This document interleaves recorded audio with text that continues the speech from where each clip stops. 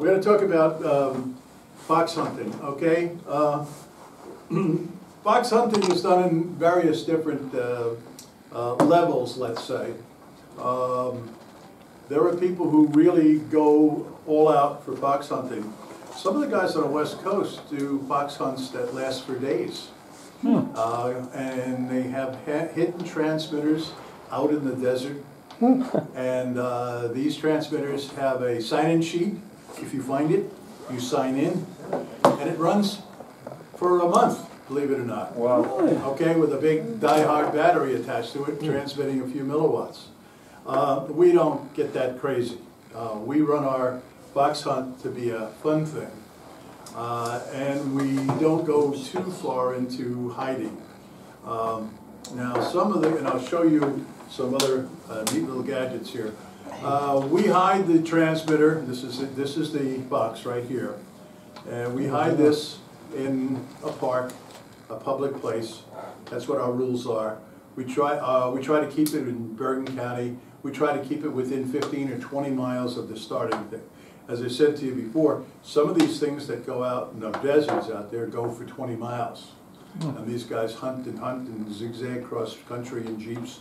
If you remember, a couple of years ago, there was an article in QST telling people to be careful because there was two guys in a jeep that were hunting out in California in a desert, hmm. and they drove off a cliff. Whoa. One guy was standing up in the jeep, oh. yeah, I got it, I got it, I got it, and the guy said, okay, boom.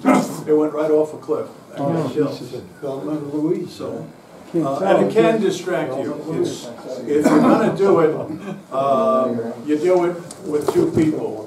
One guy as a navigator and the other guy as the driver, okay? Uh, if you try to do it with one person, you end up gonna have an accident, because it gets very, very confusing. Now, some of the things that you may wanna always have if you're fooling around is, this is a, this is a field strength meter, this is a VHF field strength meter. Um, It's, It's a broken fuse. it was a plug, yeah, there. Um, It's a great little gadget to have, uh, you don't need it, but uh, it's a great little gadget. Uh, It, uh, believe it or not, it's designed for looking for bugs. For what? Bugs, Gunny? FBI bugs. FBI Bugs type Bunny? bugs. Like what my son-in-law does. You ought to see the neat stuff he has. Oh, Can we use it? Sure. Can we use his He's stuff? got some goodies, real goodies. Anyway, um, this is the Fox. Uh, now, you don't need anything as sophisticated as this if you're the Fox, but uh, one of our guys really decided to make this thing up. And what it's doing right now is transmitting. Now, it's just putting out a bunch of little tones so that you can kind of follow it. And then what it does is it IDs, according to the law, and, uh, and it transmits, I don't know if you caught the CW, it says catch me if you can. And then, uh, it'll run all day and all week on this, on this battery here. So we just take this and we put it out. Now, if I need more of a signal, what I do, and I, what I need more, if I need more of a signal, uh, what I do is I'll use this. Okay, so what I'll do is when we start the fox hunt, I will make a test and make sure people are able to hear me. Uh, what we do is we start the fox hunt, and in our case, we started off at the high school parking lot.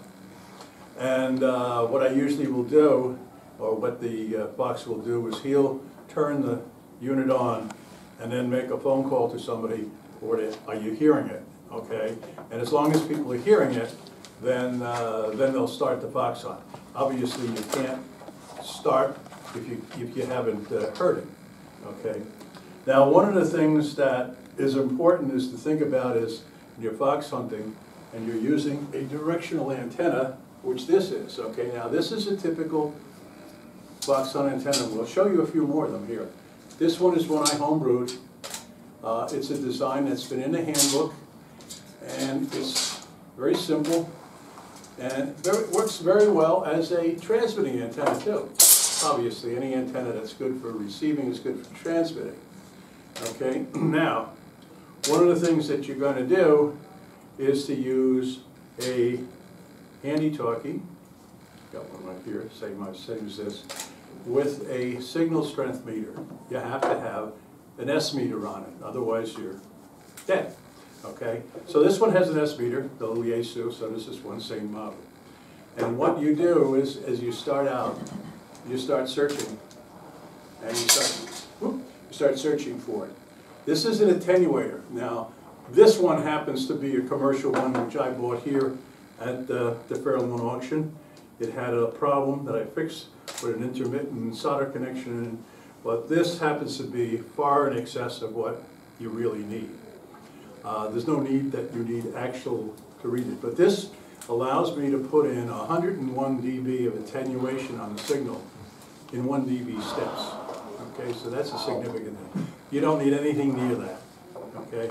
All you need to do is to put in some attenuation so that you are not overloading the receiver, okay?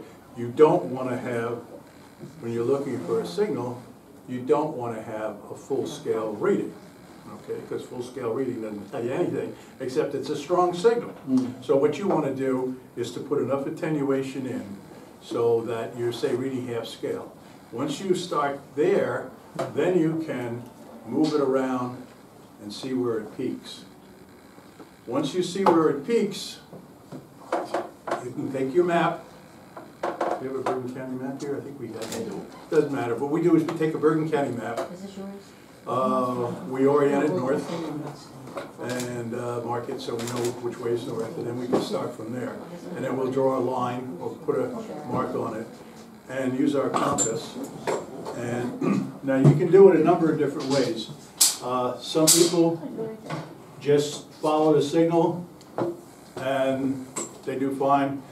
Other people will drive around a circle and what they'll do is they'll make two or three measurements with this unit, with this, and with the compass, and they'll draw some lines on a map. And hopefully, you'll get there. Now, that all sounds very easy, but one of the things that you find out is that there are lots of things that fool you. Uh, Reflections are one of them. Now, you have to be careful. For example, one of the things that you do, let's say when you leave the area where you've made your first measurement, is, let's say you start out, in our case, we start out in high school, parking lot, and you make your first measurement. It's a good idea to go about a mile, maybe not even that, maybe up the hill, another location, and take another reading. The reason I say that is that sometimes when you're next to a building, what happens is that you can be really looking at a pretty good signal, that's a reflection. And if any of you participate and do any of this stuff, you'll find very quickly that you'll run into situations where that will happen. You'll, you'll run into a thing where you'll get completely disoriented and you say, it's this way.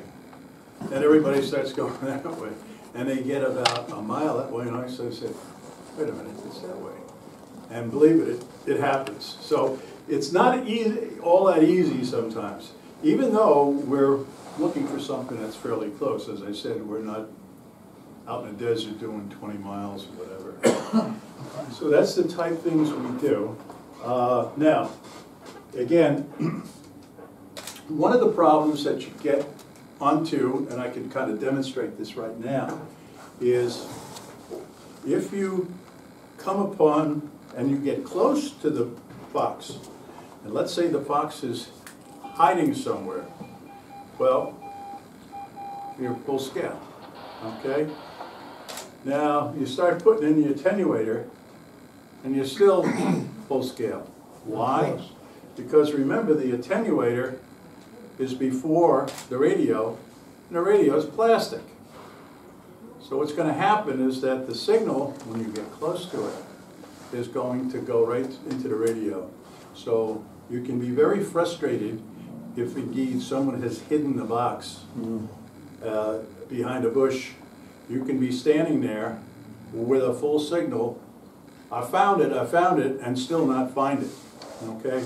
Now, in a lot of cases, that doesn't really happen with us, because by the time we get to the park, there's a guy sitting in his car with, call it a license plates, and he's the fox. you know? So we found him.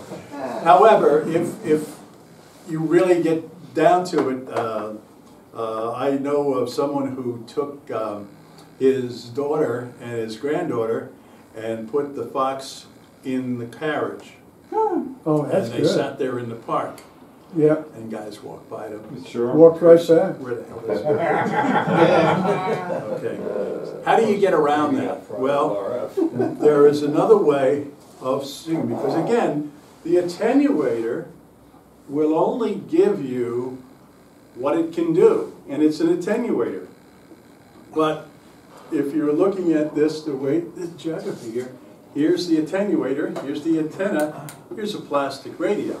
So when we're on top of the signal, the attenuator is, is not gonna help us that much, okay? By getting a metal radio. Yeah, well, if you had a metal Wrap radio or a foil, shielded radio, yes, and we'll show you another technique here later. Yeah. But anyway, uh, what, uh, what happens is that if you look at the way a radio works, the signal comes in, the signal is mixed, and it's going down to a lower IF frequency. Well, there's another little trick, and that's called a mixer, okay? This little gadget, which I built from a kit, is nothing more than a uh, offset attenuator. Now, what does that mean? Well, the offset attenuator, what it does is it has a crystal in there, and it has a rudimentary mixer, a diode, because a diode is a nonlinear device, and it's a mixer. It'll mix the two signals. So let's say I'm listening to 146 megahertz, okay, and I'm looking, now I'm on top of it. 146 megahertz is, is blasted into my radio, and it's reading almost full scale, and I know I'm on top of it, I can't find it. I put on my offset attenuator. The offset attenuator has an input from the antenna, which is listening to the signal. It also has a four megahertz oscillator and a little diode mixer. It's a very rudimentary crystal set, you want to look at it. However, what you can do is, now remember, we're overloading it with the signal. But what if we were to take that signal, take a little piece of it, and move it up four megahertz? Okay? And that's exactly what we're doing. We're taking the 146 coming in, we're taking the multiple of the four megahertz. We're taking the, I don't know, how many, thirty-six multiple of whatever it is, mixing it with that one forty-six, and coming out with something four megahertz above that.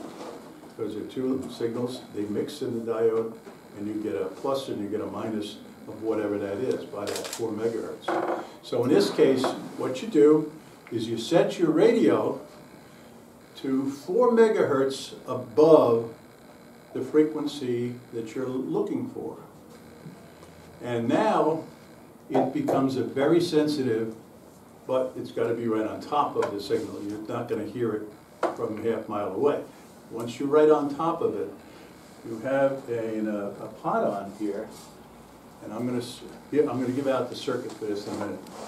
And what you do is you set the level. So now you're right on top of that sucker.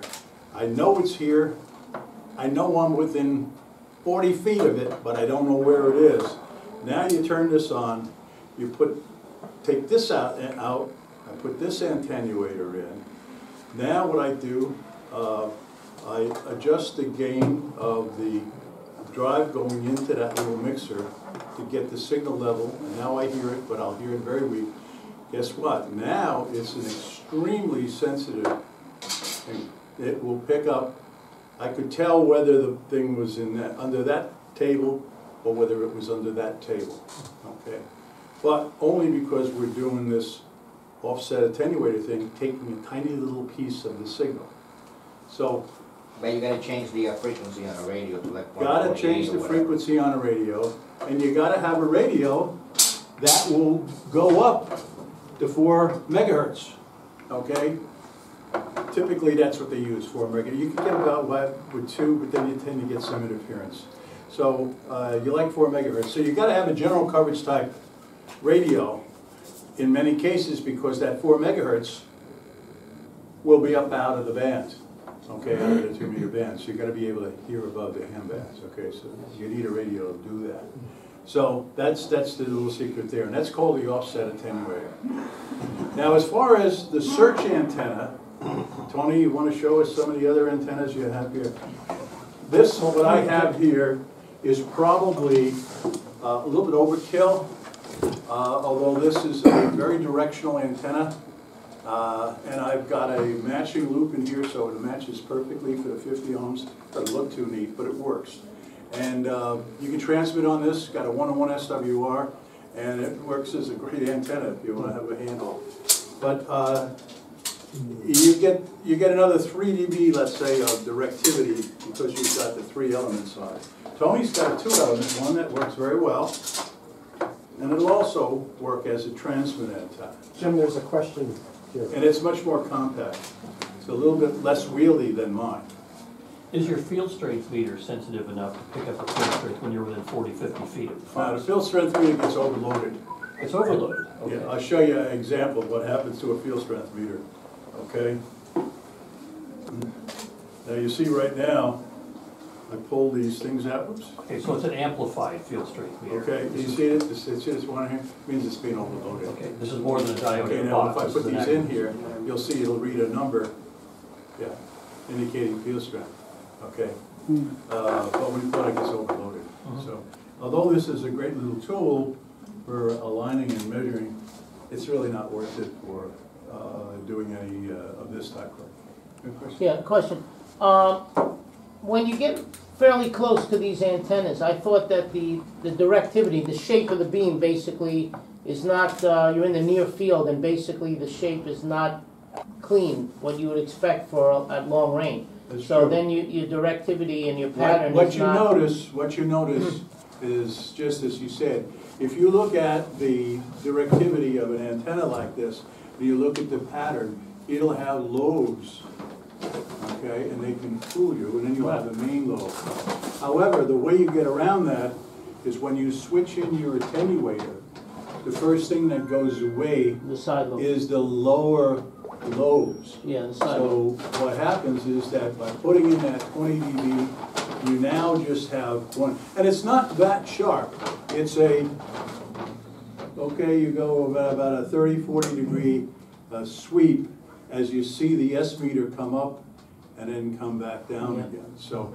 uh, So you're it- lobing, right? It's what people call sequential lobing. You're Yeah, lobing. and you see it when you go back and forth like And just a moment, now, with an antenna, you guys know that if you're aimed at the signal this way, you can get a dB loss by turning it this way. Now, again, the antenna is putting out a vertical signal, but you don't have to be vertically polarized to fox hunt. It helps to get the strongest signal when they're both vertical. But by turning it, is a, I've read that it's a twenty dB difference in the signal between horizontal and vertical. And don't be afraid to move your antenna in the different planes. Um, I also provided a handle back here that I can rotate this way, rotate the other way, right? Now, the other thing is, it works, what works very well is that the back of the antenna, you know, any antenna has a forward gain and it has a rear entry gain. Well, if you, if you're looking for a really, really sharp signal, you might try using the back of the antenna. You have a very narrow lobe in the back and a much bigger gain lobe in the front. So just a simple antenna will give you twenty dB attenuation, and front to back we'll give you another ten to twenty dB attenuation. So you don't have to go and buy expensive attenuators, you can work with just this antenna.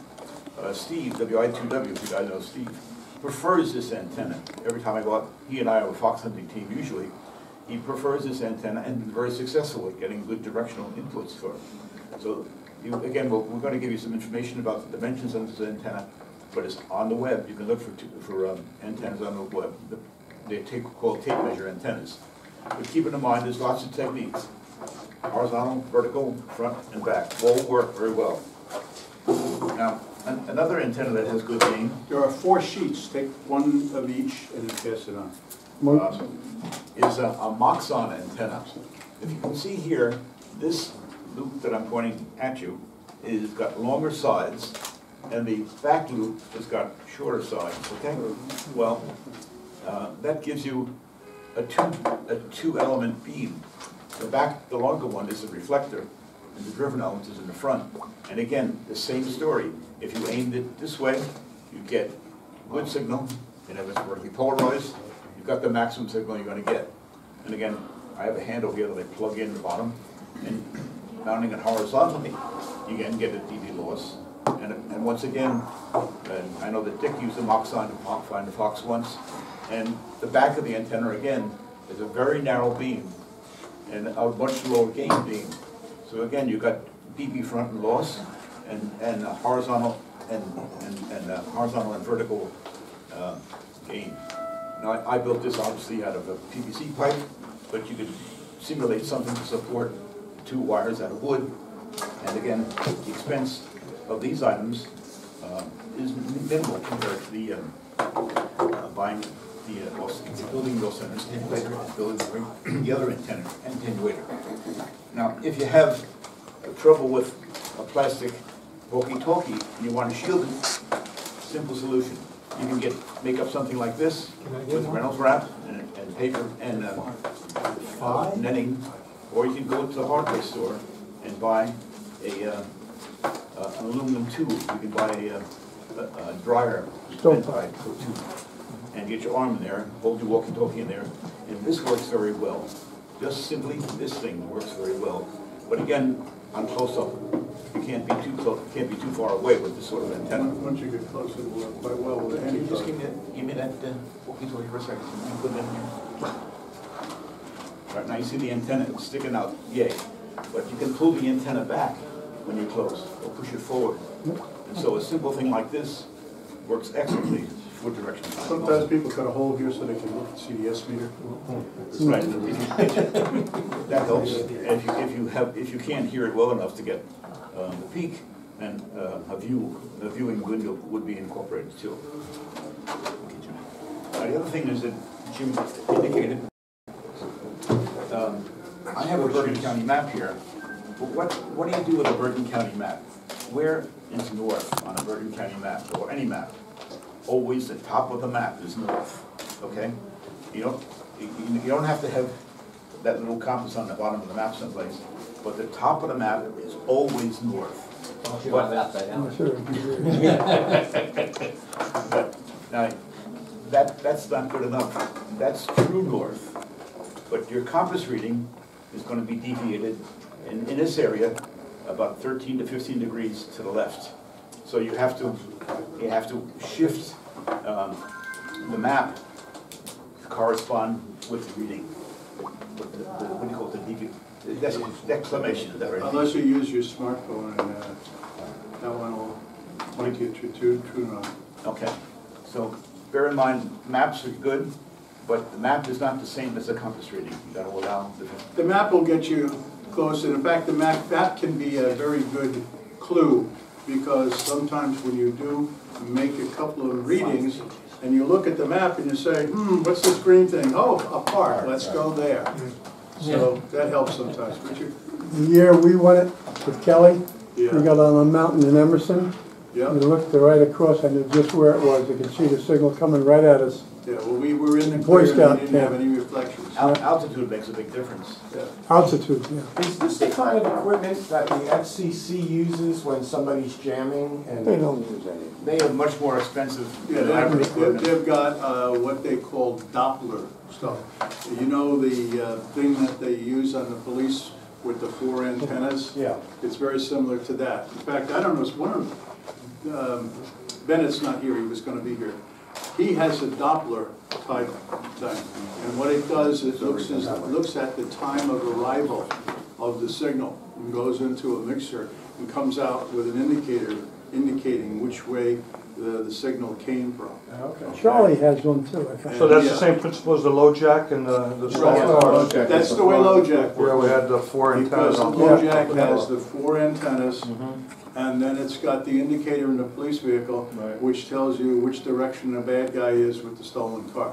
It also has a graph as you get closer. Yes, it you raises see the to signal top. strength go up. Rise That's a TDOA method, time difference of arrival. Right, right. Time In a few difference. moments, a Now, there are kits you can buy, and they're, I don't know, not, not inexpensive, they're like a hundred dollars, hundred fifty dollars, where you can actually build something like that. They sell And it. I- does I- work. I just saw one in QST for three hundred and nineteen Three hundred dollars. ninety, was that a Complete kit? package? Not No, a kit, No, it wasn't a kid, it was. Yeah, that was already. Yeah, that's what Yeah. But uh, there are, you know, for the guys that are really serious about this, they do it. This little kit here that I have here with the little offset attenuator, there's a schematic of it in this thing here that's being given out. Uh, The offset attenuator kit here, I think I bought it, uh, it was, uh, it was like ten dollars. It's like four parts. And I just put it in this little aluminum box. This is a, again, an attenuator of the type that Jim's got, but this particular one, um, somebody had apparently applied power to it and scorched it. But I went back to an old ARRL magazine, and they had an attenuator similar construction, and I rebuilt it. And it's about, about eighty dB. Going beyond an eighty dB attenuator is unnecessary. Yeah. Because you can't get that much gain. But these are in five dB steps, 5, 10, and twenty dB steps. And by playing with the switches, you can do the same thing. You hook this to your radio, um, and the, and the antenna goes in here. And if you look around, you can find burnt down attenuators at- at flea markets that people will sell reasonably cheap. And it doesn't take much to find a circuit to rebuild to get the right dB gain on it. And of course, after you get your, uh, after you get your reading on your map, having a protractor from, remember back in ge- geometry class, you had a protractor? Having a protractor will avoid the problem, But some people will take a compass and say, oh, it's over there, I'll put that on top of the map, and- but there's a metal car, okay? Oh, yeah. The map doesn't, the compass doesn't work on the hood of a car. Um, uh, I've, I've often brought a small collapsible wooden table, um, the uh, TV tables that you kind of have next to your TV, and I set that up with the map on it, away from the car, so you don't get um, uh, You variation. gotta be careful when you're using a magnetic compass, don't put near your speaker. Yeah. Anything with magnetics or anything with metal. And again, even up at the high school, um, I don't know how many guys have been fooled. There is, depends upon the location of the fox, but I've seen situations where people swear the fox is in Ridgewood. you Oh, yeah, I mean, when you, when we start out, you'll see everyone has to go where they think it is. And, uh, you know, you'll see four guys will go this way, uh, another three will go that way, and then you say, what, what are they looking at, you know? We, we got a meeting here, but they were closer to the building, they got a reflection. So that's why I said, uh, in many cases, it's good to step, you know, a quarter mile away, do it again, and then see if you're still on the same track. Our trick has been to take a reading at the high school and then go down Forest Avenue to the Jewish cemetery. It's a nice flat ground, there's only granite in there. You lift a stone up on the top of a grave, so they get buried in there. And we take a reading in the cemetery. That's uh, a a better chance of getting a- a truer reading on a level ground where there's no signal coming in. And, and you always get people who start questioning you, Yeah, uh, especially this, so we try to explain our electronic box. But every once in a while, you, s- you just get the idea to, to, to have some devilish fun. And you're sitting out there and this lady walks over and she said, what are you doing? You said, did you see a bear with a collar on it? That's right. Has anyone ever called the police? Has anyone ever called the police on you? Oh, yeah, Yeah.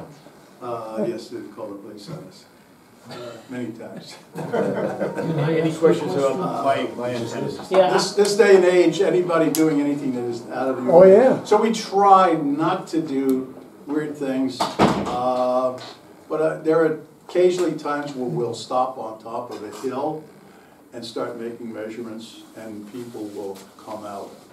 Um, The fox was hiding one time at the high school, one of the high schools nearby, and, or grammar schools, whatever, and the police came there, somebody called the cops, and they wanted to know what they were doing. what you doing? And uh, fortunately, the, the police officer had his laptop, and the guy explained, Bergen Radio Association, blah, blah, blah, here's our website, and they cop, well, see, hey, pretty neat, okay.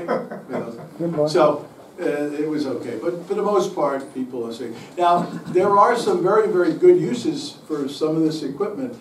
As you know, um, there are a lot of times when people are uh, missing, and uh, I don't know if you're aware of it, but they're- they're, um, my daughter is a a teacher, of the handicapped, and some of these kids are wanderers, and they, uh, they have uh, uh, little transmitters on them. Oh, I didn't know that. And, uh, yeah, so, um, they use similar things to this on a different frequency to, to search for, that they don't show up. So it gives us that type of, uh, expertise, let's say, if we ever have to.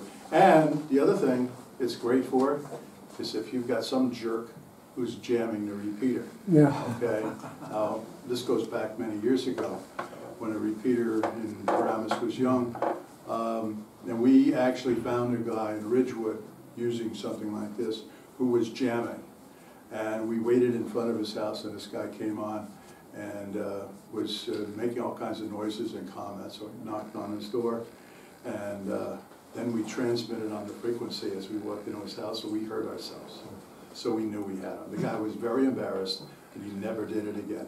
How And did, we Told everybody who he was, and that. Uh, uh, uh. how did Pete, I can't think of his call, it came from Ramsey, HP. catch a guy in Brooklyn jamming seven nine repeat years ago?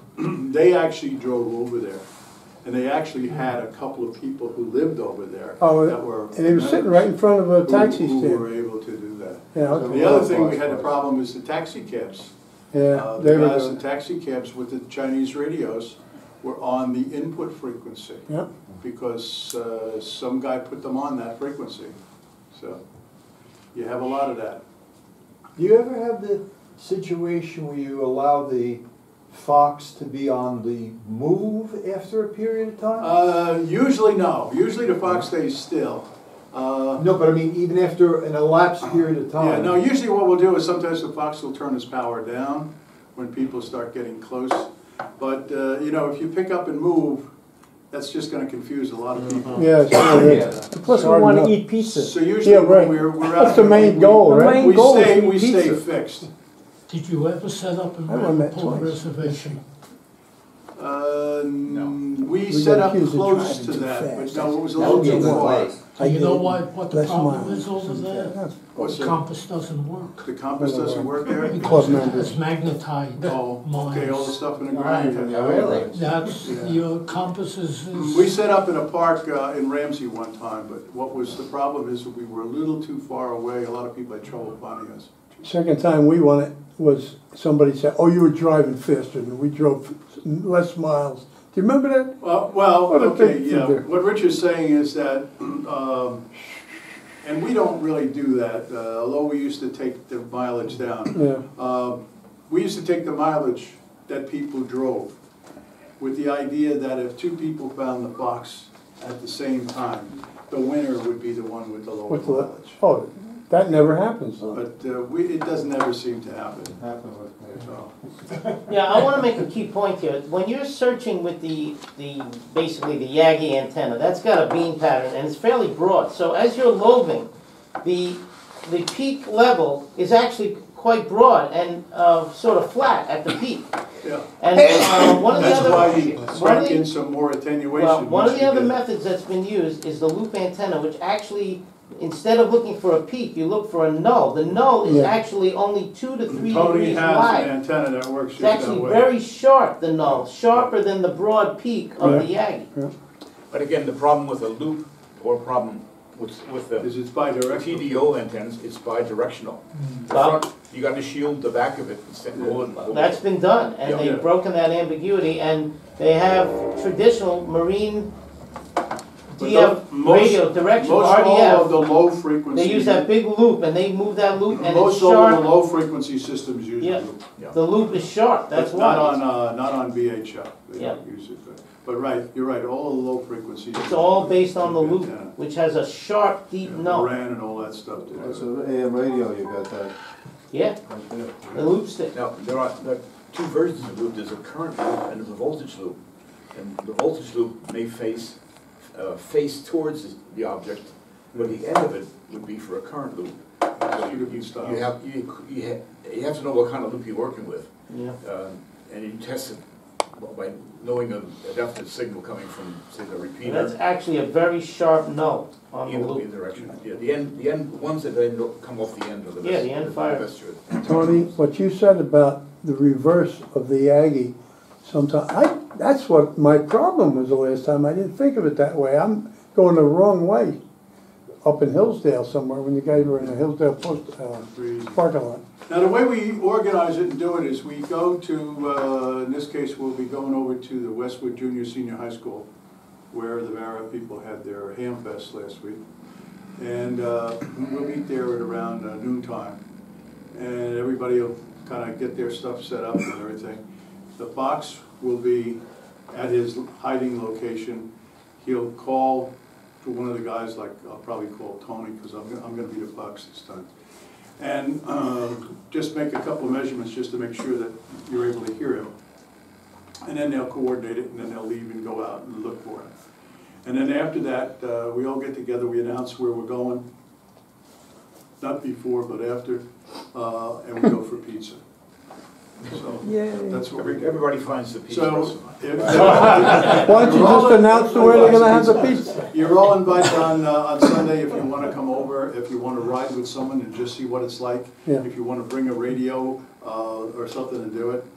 Now, now, we've been talking about all of this fancy, fancy stuff here, but I gotta tell you a story.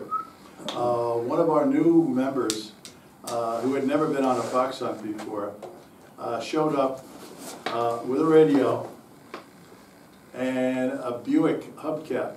The moon, hubcap, you know, the moon. And What was that? what he did was he found a signal, took off his thing and then, oh, okay, now I put a little bit on here. And he kind of shielded a little bit more, okay, I know it's that direction, started to drive around. He actually, uh, used the radio in front of the, um, hubcap. Okay, yeah. And he moved it around like that, and it acted as a reflector, and he was able to look at the, uh, thing and position himself. He ended up finding a fox. Was that Farrell on Sid? No, that was, uh, that was, uh, Sid did that once, something like that. Now, I've also taken a, a three-ring note- notebook, uh, an empty three-ring notebook, you know, the, the kind you close, got three rings in it, but put aluminum foil on two sides and made a corner reflector out of it. Very simple, you can do this, you know, take a notebook off the kid's shelf that's not used, and you, you've got a corner reflector, and you hold the phone, the, the microphone, the uh, radio in front of the, uh, uh. As long as you have direct signal. Don has an antenna here too. John, you wanna show us this one? Yeah. Don will show you his. Now, this, this is, a- now, now, this is a little bit more sophisticated. It's, we talked about the Doppler thing. Take a look at this. uh, Pringles cans antennas. Okay, you just press the push to talk when I get it out. Let me just. This is a time difference of arrival, Did you guys get a handout? uh, set Pass up. them around? When anybody asks you what you're doing, you're looking for aliens. Right. I like the bear, I like that. That's a wonderful one, Sabara, I found it in the, in my, We're trying to talk to aliens. Planet Mongo. can I get it free next year? Flash Gordon? Yeah, Use it next to me. Yeah, Tony, you can press the button. Tony is, okay. Oh, I like that. I like that. Okay. Now, he's, yeah, you're, you're bouncing signals off the, Yeah, well, I got that, but, uh, but you, you can hear the turn get down, and. Was there a forward and a back, a rear on that, Don? if you're out and in the clear, you'll see this work much better. It's, You get a peak when it's in phase, is that what's happening? It's a no, on your, no, you'll hear it, you'll hear it. Go to, go to the null now, go, go uh, horizontal, uh, in line. Go, go, uh,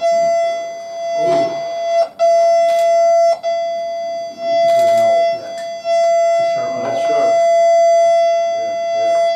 Very Thank good. you. That's One another- thing they, I have some literature on it here, one thing they say that when you get into that close stage where you need the attenuator, this can be a- of assistance to you. It's a very little simple box, it's a five fifty-five chip, and a few parts, And uh, mounted on a cross arm, it's about two feet or so apart with these, these are Kodak lines. You have to buy expensive rubber ducks. They have a thing in the ARRL handbook called the rubber duck, the directional binder, mounted on a big piece of aluminum. Uh, this thing will fold up, I have it arranged so that these things fold up like this. I have, that's why you see the two screws are offset, you'll have a, di- there's a diode and a resistor out here. And also on this one here, and what happens is the, uh, this is how this thing works, is in a square wave, when it's a positive pulse, it activates the one antenna, and the negative pulse activates the other.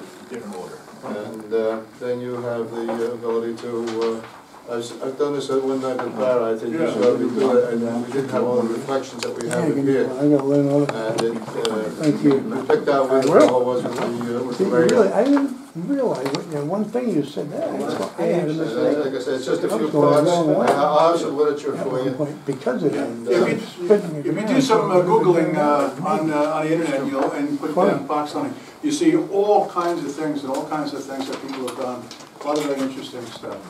But as I said, on Sunday, this coming Sunday, we'll be over there at the high school, so if you wanna come over, uh, and come along with somebody, ride with somebody, watch what's going on, or you can set up a team with two of you and enter, uh, you know, borrow uh, an antenna from somebody or whatever, and uh, off you go.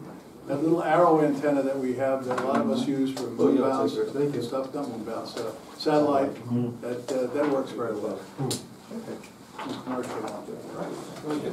So, All right, anybody, anybody else have any other questions? Never? Carl, didn't you just find somebody with a simple setup, uh, with the, the, uh, the keyed mic? Oh.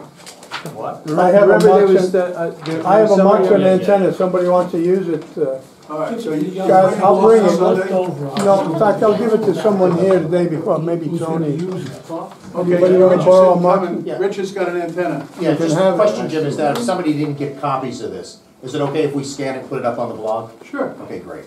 Uh, oh, there's, there's copies here, are those Okay, extra great. copies? There's extra copies of Okay, it. just wanna make sure, okay. Because I had enough for forty people. Oh, you- Oh, okay. oh, oh. Jim, there's a question over here. Yeah. Uh, Is, is there any best uh, approach pattern, uh, especially if something is, you know, a mile or more away, obviously? Is it as far as zigzagging, uh, first going horizontal to get uh, There's a couple of different theories, as I mentioned to you before. Uh, let's say you got a signal this way. days are over. Sometimes you can go off at a oblique, uh, thirty degrees, let's say, and you go a mile, and you take another reading, okay? And now that reading points you, let's say, now you've No, I gone this just- way, I'm all right. now that I'll reading get back says there. this. That's a good indication that you've gone the right direction. And of course, what you can do is then head in the other direction and do the same, and see where it ends up. And that's where it's good to have a map, because when you s- put the lines on the map and seeing where they cross, a lot of times it'll give you, oh, look at, there's a green here, this has gotta be Van Saun Park, or it's gotta be something, something in the park. So you, you can get a pretty good idea that way. And of course, uh, what some people do is bring their laptop and uh, pull the map up and take a look and see where it is, and that way. But, uh, you know, we go to a public place, most often a, a park or something like that, uh, because otherwise, uh, you know, people start looking at you. And you, you don't want to, obviously, go to a place that's private because you don't have permission to be there. And, uh, um, although we don't have any trouble starting at the high school, as I say, we did have problems when we set up in a school. So we kind of avoid that type of thing. And as I say, the park is the best way. People come by, uh, they want to know what you're doing, we tell them what we're doing, we're a fox, you know, oh, wait, it's pretty neat, you know? First question is amateur radio, people still do that stuff? I get that at work all the time. Yeah, and of course, most of the time I think we're CBers. Oh, my, my brother-in-law does that. He's uh, Big Bob. You know Big Bob? No, I don't think I know. Jim, we have a banner now with Fairlawn, that says amateur radio. Yes, we still do that. Yes, we- Hey, that's Oh, good, yeah, I didn't know that. Good idea. I've had that, I've had that question so many times. Yeah. I would just make a recommendation from my experience with finding people in the park who were doing things without a permit.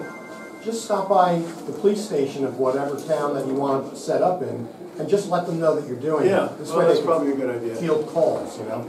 That's a good idea. Are uh, you familiar with a piece of marine equipment, which is basically an AM broadcast radio with a compass on top and a very Yeah. directional antenna? I just covered that before. Oh, okay, I missed Yeah, that part. That's The the, loop, the loop. that's no, a loop It's a antenna. loop stick, basically, a fancy loop Yeah. stick. and Yeah, it helps you And that's mouse. the Sure, way, when you're and out that's in the the way middle the of Oh, the you the can do it RAN from a works. thousand miles out, it's very Yeah, but impressive. those are low frequency type thing.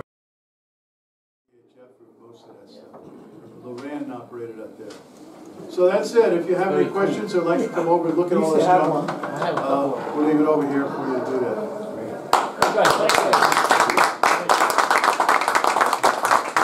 And don't forget, if you come, we have pizza after.